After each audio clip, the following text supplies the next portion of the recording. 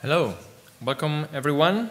My name is Andrea Aime. As uh, said, I'm a GeoServer core developer, but I also do contribute to uh, GeoWebCache. And uh, the co-writer of this presentation is Kevin Smith, which is the current maintainer of the project. Okay, I work for GeoSolutions. We have offices in Italy and the US. The company is growing. Last time I did this presentation, it, it was saying 30 plus collaborators. Now we are 40 plus. We are uh, supporting a number of open source projects uh, with a core involvement in their development, including uh, GeoServer, MapStore, GeoNode, and GeoNetwork, and we offer a variety of services around them. Uh, GeoSolutions is about openness, so we strongly support open source, OSGeo. We are an OGC member because we believe in open standards and uh, also support the standards critical to GeoINT. So, let's begin by asking ourselves, what is GeoWebCache anyways? So GeoWebCache is first and foremost a tile server. It's a Java-based standalone tile server that supports a variety of tile protocols like WMTS, TMS, TileJSON, uh, NXYZ, Google Maps, Bing Maps, and so on. But it's also a WMS server. Not maybe many people know that uh, um, GeoCache can be turned into a, uh, a WMS. Uh, there is an option, because it's an option away, it's a configuration option away, which is full WMS equals true in uh, its uh, configuration file. And then uh, can take tiles that it has in the cache, combine them, uh, scale them, and cut them in order to uh, answer a generic WMS request. Currently, it's working only on a single layer basis, so you, unlike WMS, you cannot uh, list like three layers and say, give me a map of that. Uh, it works only if you are specifying a single layer, but if anyone here or listening uh, from remote is interested in sponsoring uh, multi-layer support, we are uh, very happy to talk with you, or if you want to simply implement it and make a pull request, that's going to be very well received. Um, is based on a variety of tile sources, um, uh, such as WMS, MB tiles, and Compact Cache, and more. We are going to talk about each one of them in, uh, in detail. Some of the tile sources are actually not tiles, such as WMS, so we need to actually store the tiles somewhere. And uh, uh, this is stored through an interface that we call the blob store. And we have different options such as file system, cloud storage, SQL databases, and so on. Um, the configuration of standalone GeoWebCache is based on an XML file, but it also has a REST API that you can use to uh, add layers, remove layers, control uh, grid sets, uh, configure the disk quota, and so on. So you have an option to uh, write your own XML file or uh, use uh, the REST API to control its configuration at runtime. If you are not much into uh, the programmatic control, then you can also uh, use GeoCache as part of GeoServer.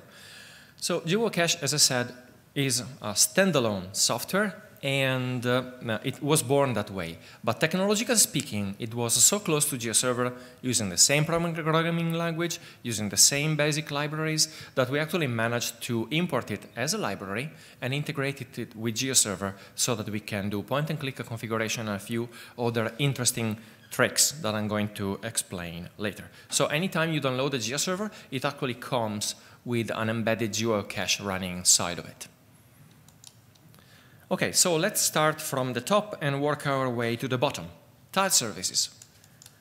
GeoCache was born as a, an implementation of TMS, the tile map service, and uh, eventually it also had the webmap service cached uh, uh, protocol implementation.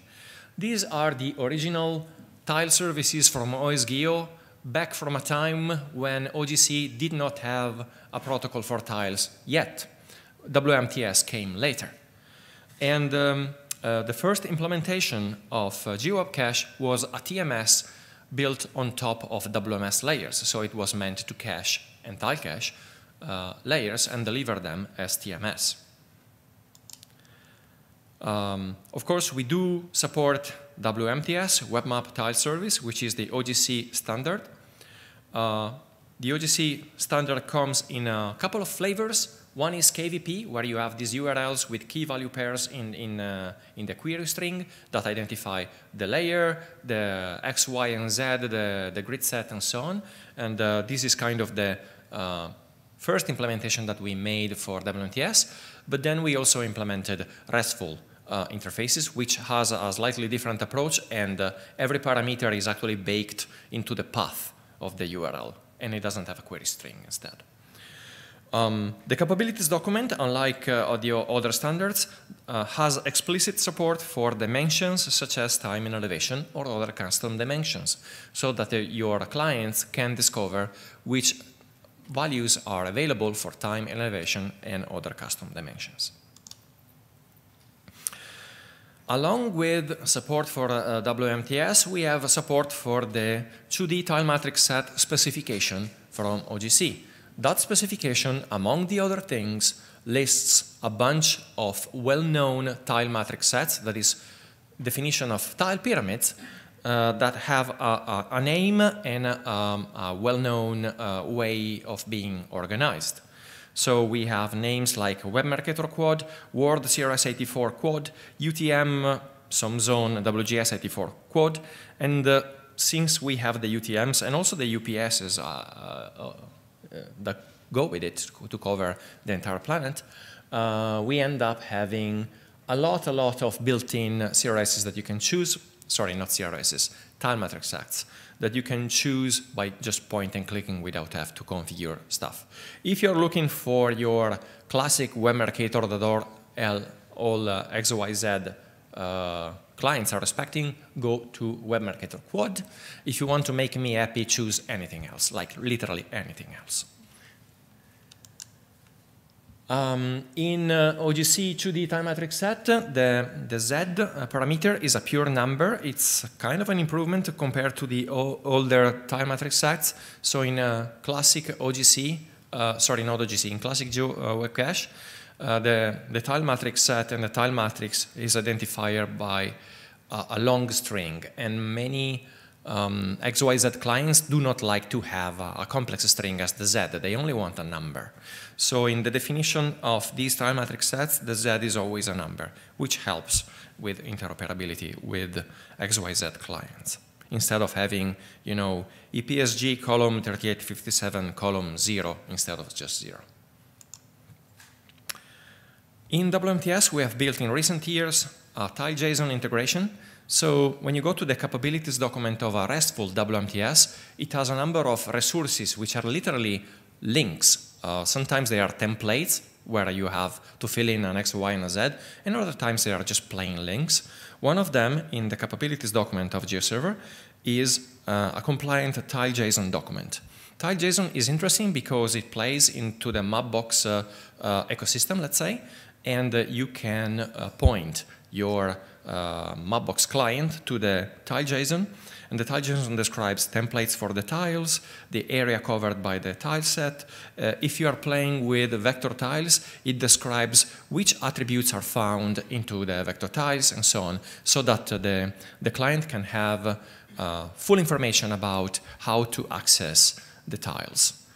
Uh, as I said, typically OGC clients don't care, but if you are playing into a Mapbox client, then this is useful.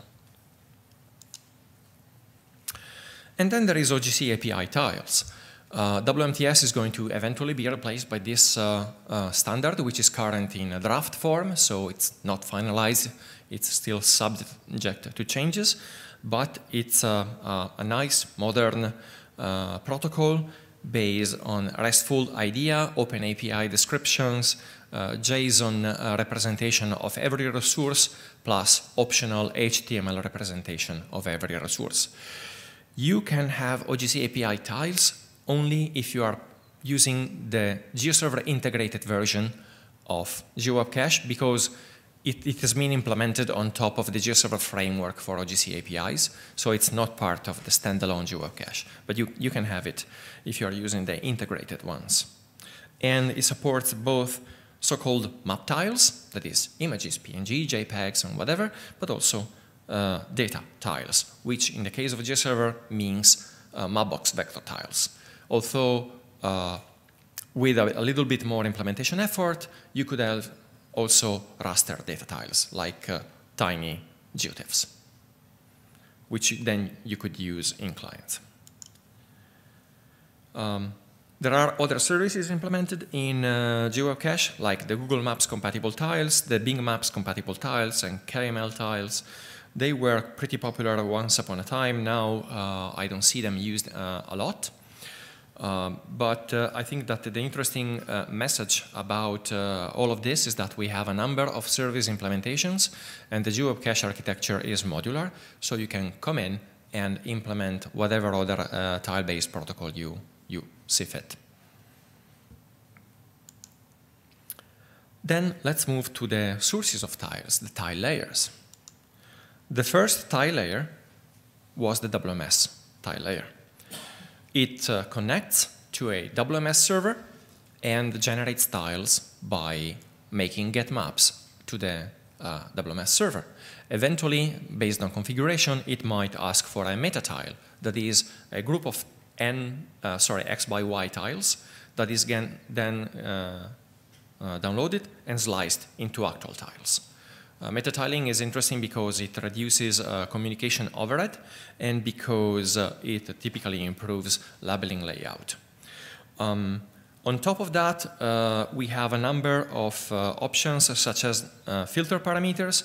So when you go to a WMS server like GeoServer, you have a bunch of options attached to a particular layer, such as uh, default style, but also alternate styles. And you might want to tile cache all of them, and not just the default one.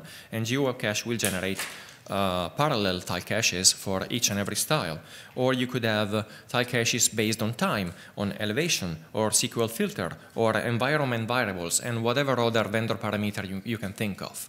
Uh, you go to GeoCache, you describe your vendor parameter, you describe the domain of that parameter that you want to cache, like, for example, you, you might want to only cache a range of time or, uh, um, I don't know, three possible values for an environment variables and not every random string uh, that one could possibly input.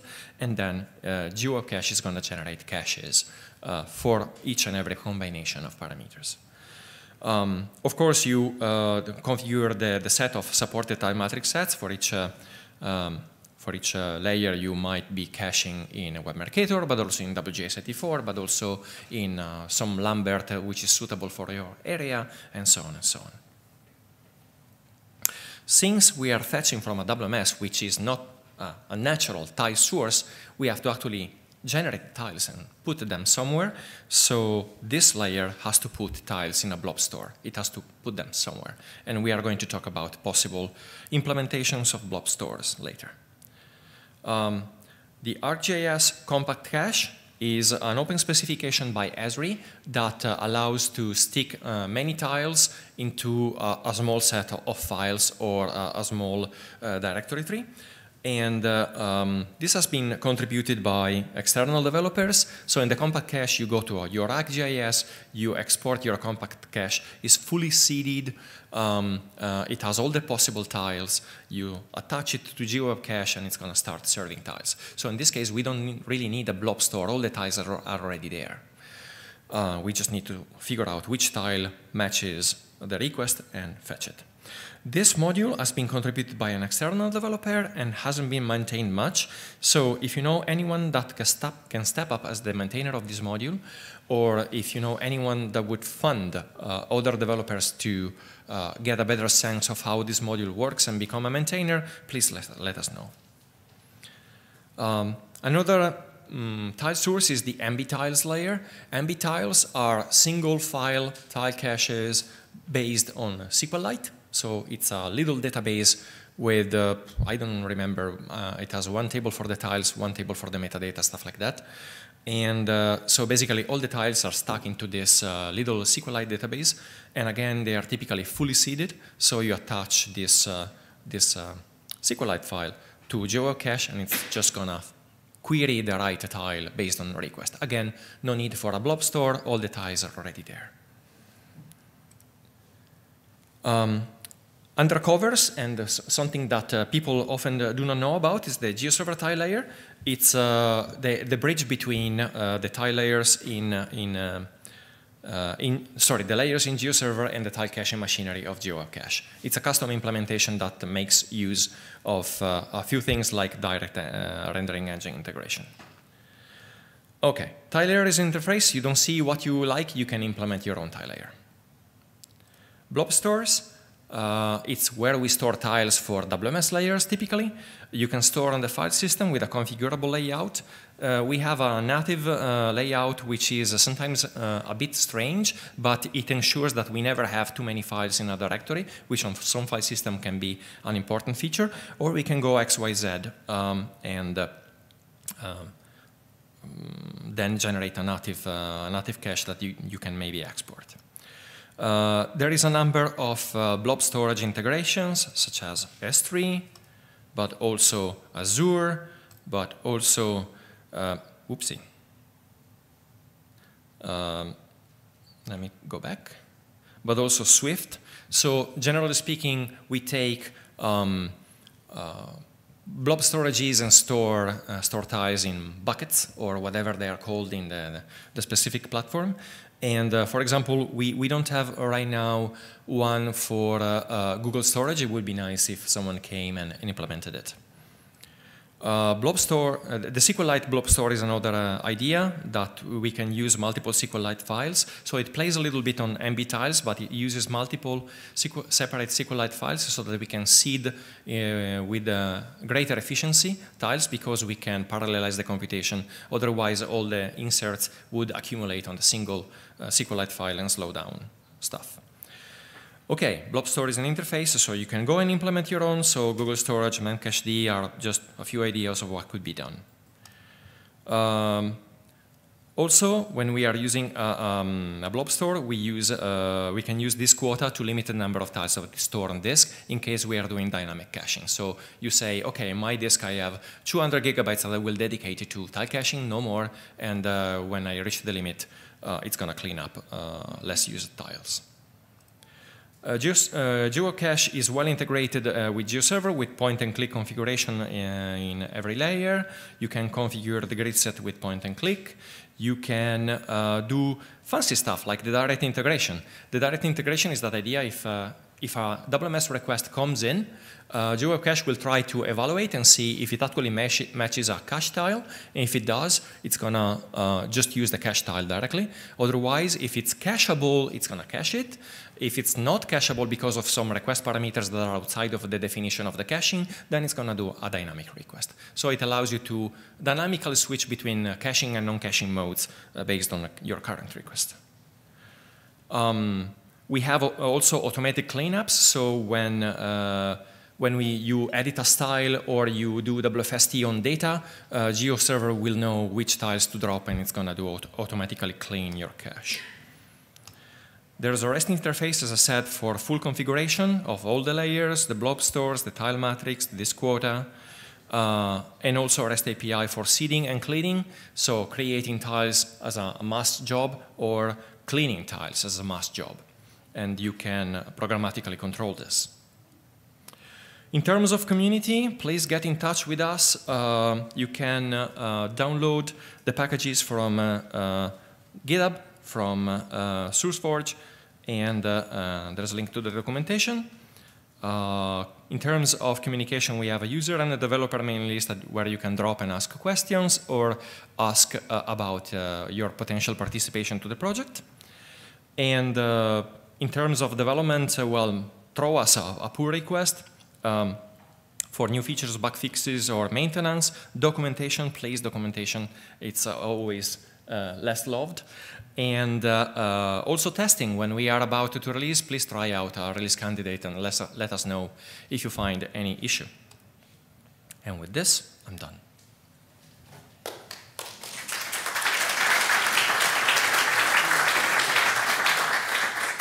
Thanks, Andrea. That's a very powerful software. Um, there, if you can ask questions on Venueless, um, we have a record of them. So um, there's one question on online so far, and then we can we can throw it out to the floor. So um, it's a two-part question, Andrea. Um, is it better to have separate GeoWeb cache that can scale beside a GeoServer instead of using the embedded one when working with clustered infrastructure? And how easy is it to bind this kind of GeoWeb cache with GeoServer to have a fully scalable architecture? Okay, so it depends. Uh, it depends on uh, where you want to go, how much you want to scale, and how many tiles you want to, to build. So if your objective is to, so let's say that you have a large installation with many nodes and you have a, a geo uh, web cache, in that case in front, and you want to do a large seed job, then uh, that single geo web cache can uh, literally hit the entire cluster and uh, multiply the, the, the, speed at which the, uh, the seeding happens by leveraging the, the full cluster. So it's definitely, definitely going to, to speed up intensive seed jobs a lot. On the other end, since it's external, we will have to uh, make a map, compress it to PNG, and then decode the PNG on the other side. So on the single request, it's actually going to pay some extra time rather than with the integrated one, render the map and save it as a, as a tile directly. So there's this kind of trade-off. If you are going towards uh, uh, preceding a lot and you want to, to have a maximum performance, then yes, having a GeoWeb cache in front, separate, is better from a uh, performance and scalability point of view. If instead you are going to do a lot of uh, um, on-demand tile caching, where the tile cache starts empty, and then as the request comes in, we generate the, the tiles on the fly, uh, then the, the traffic is typically going to be lower, and it pays off to not have to compress PNG and decompress PNG over the wire. So I would prefer a um, embedded uh, situation instead. Um, in terms of configuration, the embedded one configures itself as you add layers by default. So it's really, really easy. Um, maybe sometimes too easy, like uh, you end up with so many tile cached layers that you don't even realize. Um, uh, the, the, standalone one needs you to write XML uh, configuration for the, the tile layers, for every tile layer that you want to, uh, to control. Uh, and you can use the REST API to automate that. So it's feasible, but it's going to be more work, definitely. Okay, great, thank you. Uh, a second question has come in. Um, if the, I presume it's the OGC tiles API will be in GeoServer, what role will GeoWebCache have in the future? Well, it depends. Uh, we could go and implement uh, the, the tiles API also in, uh, in GeoWebCache, maybe in a lighter way, maybe like, uh, for example, only with the JSON bindings and forget about the uh, other, other bits like HTML representation of resources um, because they are not mandatory and uh, implementing just JSON is like pretty, pretty quick. Uh, so that would be a, a way. Um, another thing that um, I'm thinking about is that we could also flip it and say, okay, let's, let's say that we are always going to use the integrated one, but we come up with a clustering solution that if we start a seed job on one node, spreads out the, the calculation on, on all of the others that are in the same cluster. That's also feasible and would, would retain the point and click support and uh, all the fancy extra abilities that GeoServer has. Okay, great, thank you. Um, are there any questions from the room?